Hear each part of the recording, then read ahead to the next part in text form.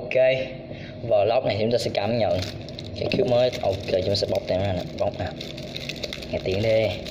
Tiếng xì xoải cà phê. Đấy. Oh my gosh. Bóc ra là bày mất cả cái cam.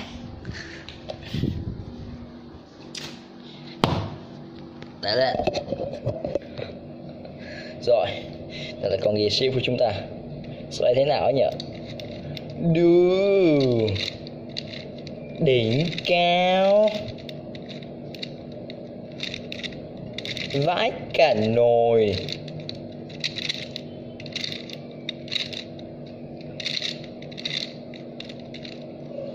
Vãi cước.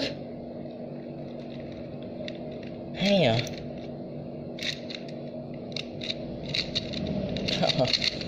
so funny to play with. Có thể mà mình tắt nó ra không? Không. Cái này không phải là ghi extreme mà là cái gì nữa cho nên mình không thấy ok chúng sẽ bóc em này ra.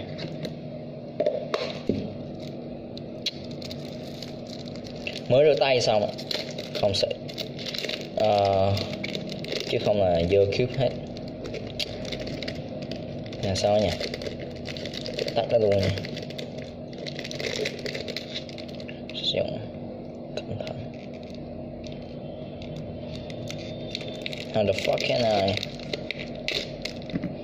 Okay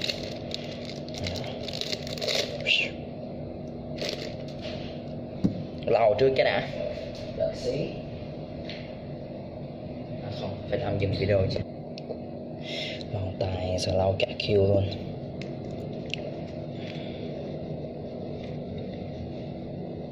rồi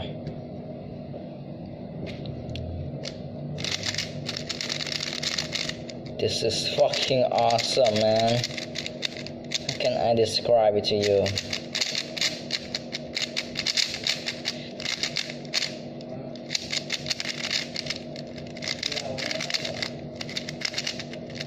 This is as smooth as thick. Okay, let's make eye turning. Let's make it soft.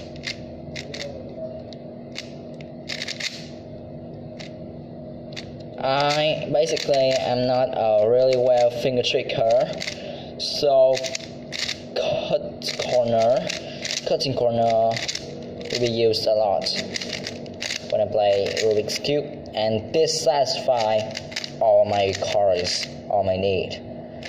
This is so amazing. Fuck mate, I'm doing it wrong.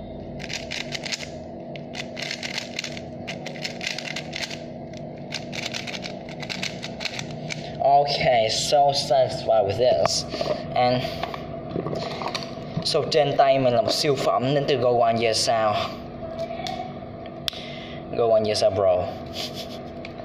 Thì uh, mở sau Sao đây?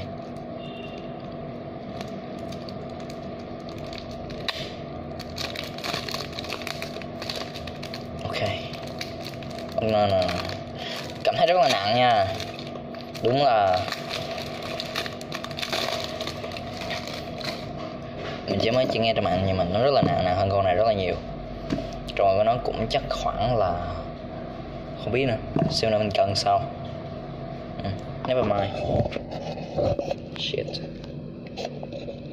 Cam này. Ok. Vậy thì chúng ta làm là lau cướp cho nó đỏ nhớt cái đã. Rồi. Cuộn vào này kia. Con này rất là đầm.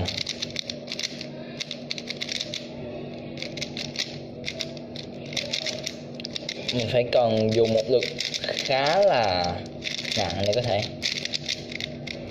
di chuyển con này nhanh được. Chứ không là nó thì mình kiểm soát rất là chắc. Cái cảm giác quay của nó như là uh, uh, gì đây đây anh nói là giống ờ, uh, GTS V à, nhầm. Giống Santa Claus V2 thì mình cảm thấy giống thiệt. Rất là nặng và nó có một cái độ ma sát rất là lớn. Độ dừng của nó cũng rất là lớn cho nên là các bạn phải dùng lực nặng hơn. À, cầm rất là nặng thì xoay nó rất là dễ bị mỏi tay. Dễ mỏi tay con này. Vâng. Không thể tin được. Nhưng mà đối với lại à, uh, cái này thì cúp rất là kiểm soát kiểm soát rất là tốt. Nhưng mà đối với mày thì uh, mày phần trick thì hơi bị tải cho nên mình có thể dùng cúp này mình luyện phần trick cũng được luyện lực tay của mình. Và nó đầm cho nên là mình không có bị mất kiểm soát. Như con này. Con này thì nó rất là nhanh. Rồi nhanh nó đôi khi mình bị uh, lock up. Con này thì uh, ít bị hơn bởi vì mình mình có thể kiểm soát rất là tốt quay rất là đầm. Đầm con này thì con này quay à, tốc độ là thôi, max speed luôn. Này, các bạn sẽ với cùng một lượt tay. Xoay được như thế này. Cùng một lượt tay. Chứ sẽ được có khoảng một phần, một phẩy hai mươi lăm cube thôi. Còn cái này thì mình có thể xoay cả hai vòng. Và cái tiếng kêu của nó cũng khác hẳn này các bạn thấy không? Đấy.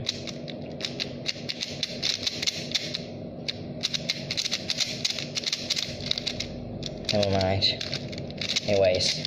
So đây là cảm nhận của mình nha con này.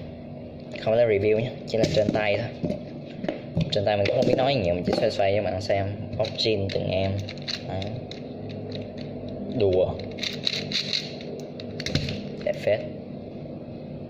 À, sao ta? Thì từ mình cũng cho các bạn xem cái setup của mình.